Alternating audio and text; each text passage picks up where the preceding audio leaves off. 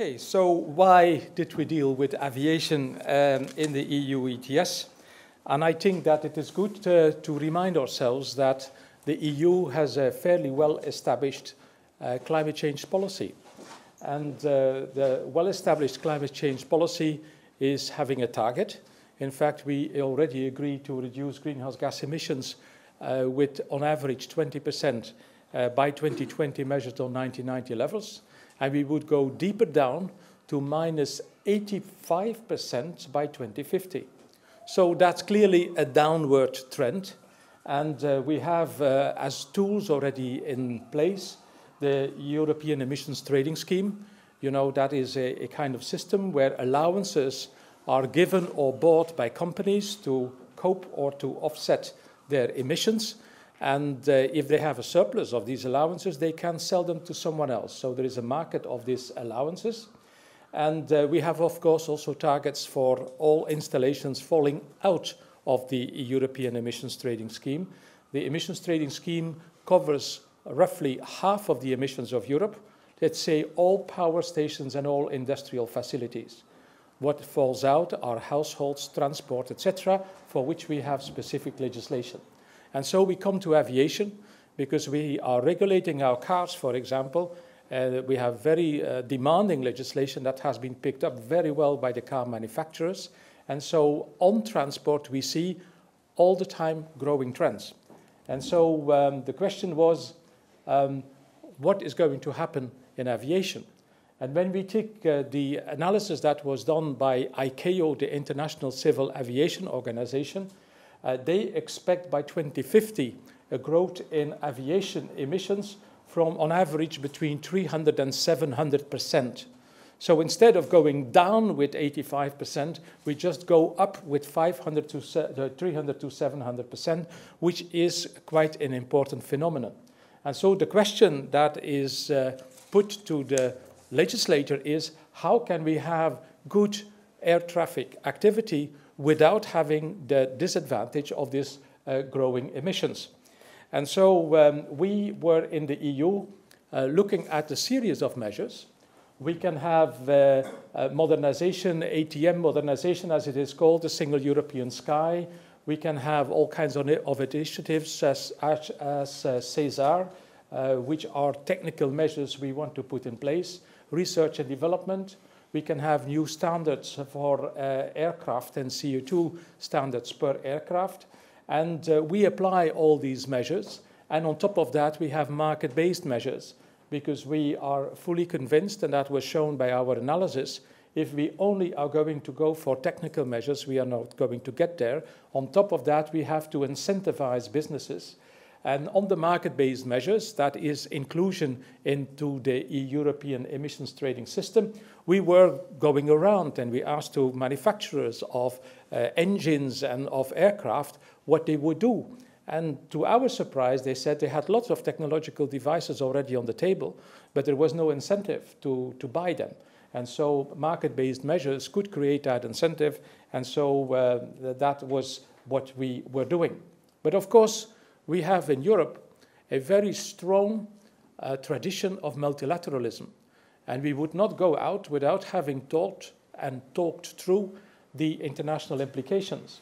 And so we had a full debate in the International Civil Aviation Organization that supported an instrument like emissions trading, but said in 2004 that such an instrument like emissions trading would not be developed by the ICAO itself, but would have to be incorporated into the emission trading scheme that different parties may have. So that was a little bit our surprise, I have to say, in 2004. But we got that out of the assembly. And so we were developing our uh, legislation while strongly communicating to the rest of the world and to ICAO that we were in favor of a global uh, solution. Uh, we took note of the fact that the assembly said emissions trading can be done provided you are incorporating that into national or regional schemes. And that is exactly uh, what we did. So uh, other reasons why uh, we went to emissions trading is that, of course, it, it has to be very much in line with our international commitments, but we have very well-known economic benefits coming from emissions trading. Uh, least cost solutions is not the most, uh, is, not the least attractive one of these. So you can easily reach a given objective at the least cost. You leave it to the economic operator to sort out how the emission reductions is going to be sorted out. Some uh, air companies are going to rely on biofuels or others may buy uh, modern aircraft or some others may want to renovate their aircraft or may discourage their passengers to take a lot of weighty and bulky stuff with them. So we leave that to the uh, airline operators themselves, as we do for ETS-covered installations in general um, uh, remarkably was that we went through a quite comprehensive debate with the industry. And in uh, 2006, IATA, uh, the International uh, uh, Association of Airlines, said that uh, ETS is probably the least cost and most effective way to reduce aviation's climate impacts in, in Europe. So we were preparing that legislation quite, quite extensively. And so let's look. So we did. We included uh, the aviation into the EU ETS. And so um, we have that uh, legislation now in place. Uh, it was proposed in 2006, and it is in force since 2009. According to European procedures, we went through co-decision, and the measure was adopted with unanimity in the Council and with an overwhelming majority in the European Parliament. So the EU member states have to uh, adopt implementing laws, and they all did. And the uh, emissions monitoring and the reporting started in 2010. And so uh, all was uh, going smooth and well uh, until end of last year, when the real deadline came in sight, namely that as of 30th of April 2013, allowances must be surrendered as of the 1st of January 2012. And so we got a little bit of a uh, surprise reaction because that was, uh, for ourselves, strictly speaking, legislation done years ago and really an implementing mood. So uh, we are, uh, as of today, a year before uh, April 2013, and uh, the question is where we are as of today. Um, what are the costs of the travel that um, that is caused through the inclusion in EU ETS? Well, you know that the prices on the carbon market are today relatively low. Um, some would like to have them higher, but that's now besides the point. Uh, we have relatively low prices, and uh, we made all kinds of uh, estimates about what the cost impact per ticket would be. And the cost impact is vari variable between 2 and 12 uh, euros per passenger for a, transatlantic flight. So I think that's very moderate if you see uh, what a, a, flight costs transatlantic. And so uh, this is a modest increase, and I think that everybody would agree that the inclusion into ETS is uh, quite cheap, quite cost effective, and it, it is, to remind you, putting a cap on the allowances. It is not putting directly a tax forward because that cost related to the allowances uh, could be covered by uh, airline operators uh, in the way they would like to have it. So uh, if we compare that to, for example, passenger fees that uh, a number of European and non-European states are currently implementing, I think that the costs are way beyond what the EU ETS may imply. So um, I think we can agree that the impact, the economic impact, is uh, relatively um, uh, limited and the impacts on airlines are equally uh, limited. Now, there has been a, uh, a number of uh, uh, Uh, questions even on whether we may not see for airlines exactly the same as we saw with power generators in the first phase of the EU ETS. That is that a considerable amount of allowances was given for free, and for the airline business, that's 85% of their average emissions. And so they have only to top up the last bit of their allowances to the extent they do not succeed in bringing down their emissions. Uh, but nevertheless, they can calculate through the value of the allowances into the market price. And so there has been, and there is still a debate about windfall profits. Even an American study done by MIT is saying that uh, perhaps this could even be a, a case where airlines uh, may make a net revenue. We refrained of going into that debate. I'm just uh, trying to highlight that uh, the impact, the economic impact on airlines is uh, modest uh, and is fully recognized um, throughout. What are the main benefits? Uh, well, we reckon that there will be uh, significant emission savings. We reckon that there will be an increased demand for biofuels uh, because the, the, EU ETS is clearly going to act as an incentive. And uh, we uh, re uh, reckon that we are also going to see an increase in the demand for credits on the carbon market created through the UN system, and that are the credits from clean tech uh, projects that are done through the CDM, the Clean Development Mechanism. Uh, so uh, we, can, we can easily assume that quite a considerable amount of the expenses made by airline companies is going to flow back through uh, companies. So where is then the real problem? And um, uh, you wonder what the real problem is. And one of the problems that I think also the chair was mentioning uh, is the uh, problem of extraterritoriality. Is the measure extraterritorial in that sense that it, it, it covers uh, things that Europe should not cover? Um, extraterritoriality comes from the fact that all aircraft in Europe, landing and departing, have to pay for their allowances over the whole stretch from the last port they were departing from and the next port they are flying to. So that is clearly also outside Europe. And, um, and hence the extraterritoriality that was uh, uh, taken as, uh, as a kind of criticism. Now, um, US Airlines went to the court, to a London court, uh, that um, transferred the case to the European Court of Justice, which is the highest court in Europe.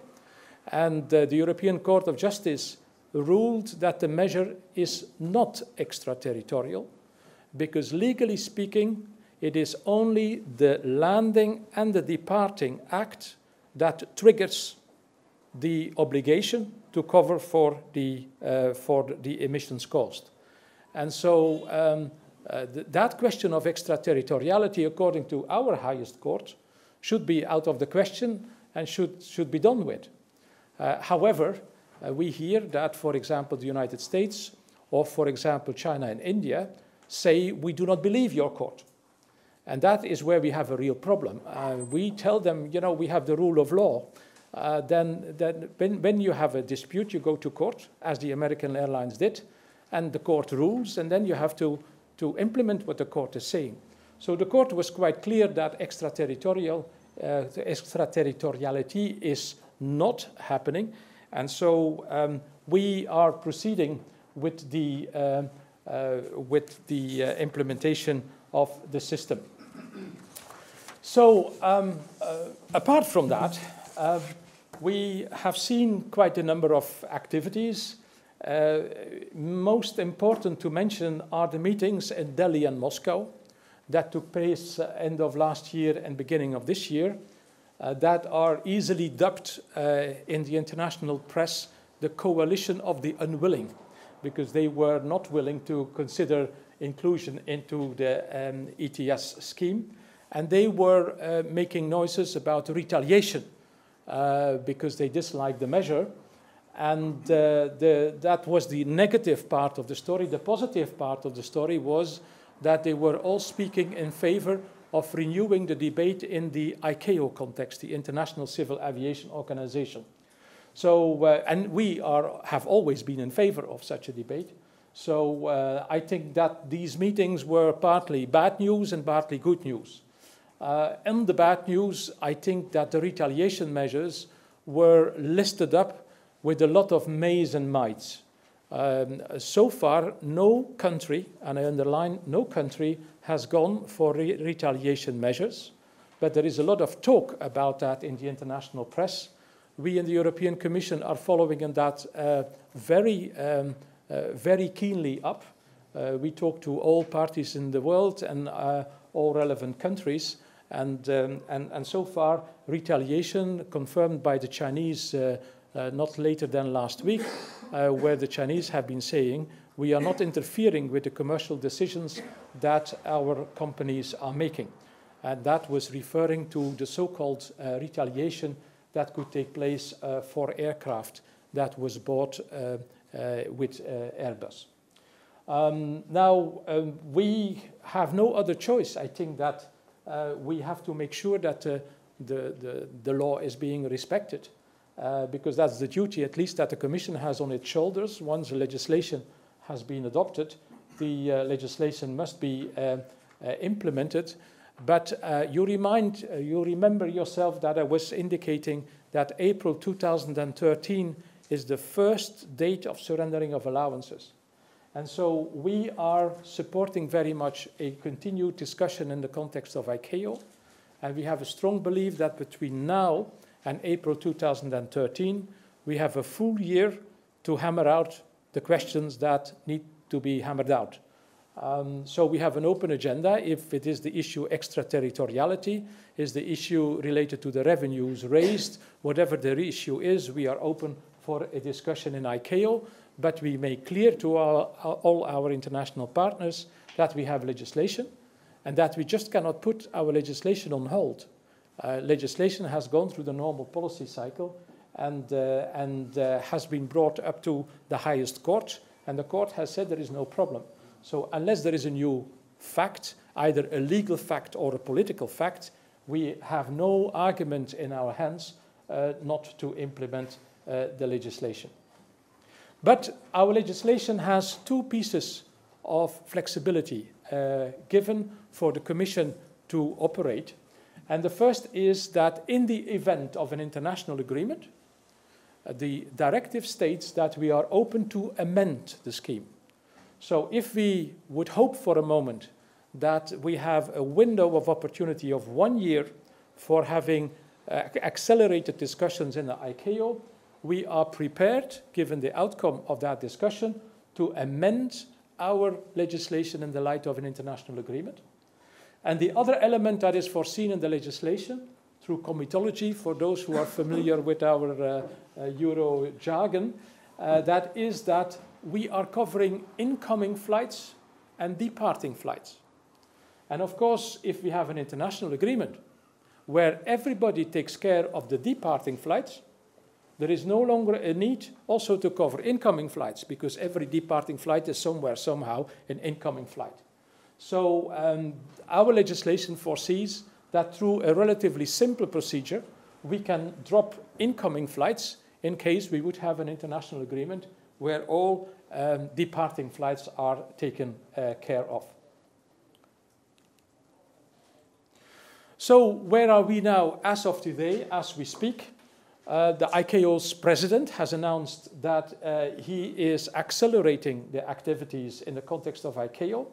And there was an ICAO council not more than uh, 10 days ago that adopted a work program on market-based measure, measures. In fact, on four uh, different options for a market-based measure to be developed ultimately. And also the development of a framework within which um, uh, market-based measures could be uh, developed. So what is good to see is that the uh, message has been taken up through uh, multiple pressure our pressure, pressured by the Chinese, the Indians, pressured by the United States, and that ICAO is now taking on the work, and that work is uh, uh, going on at a much more accelerated speed, uh, speed compared to anything we have been seeing. So um, we hope that ICAO is going to deliver and that we will have a kind of global arrangement by, say, the end of the year because we would need the beginning of next year to adapt our legislation. And um, we are uh, fully supportive of that, uh, of that um, uh, meeting, of that process. We will see a number of meetings um, because this uh, meeting series that started in Delhi and then took place in Moscow uh, is going to be continued. Next meeting is going to take place, uh, as it seems, in Saudi Arabia. But uh, we hope that these meetings are going to bring us forward in terms of a constructive, a positive agenda, because uh, if the process is only about the merits and the demerits of ETS, we are not going to advance very much. We need a kind of multilateral measure that is going to uh, address the issue. So that would be my introduction, and I'm uh, open for all possible questions uh, that you may have. Thank you very much.